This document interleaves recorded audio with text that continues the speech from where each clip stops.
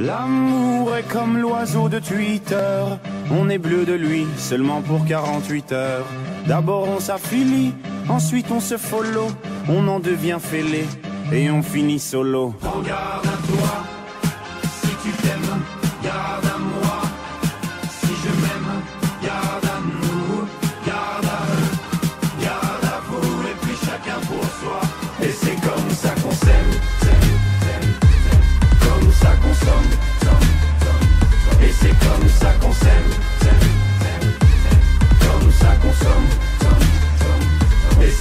Saco, semo, semo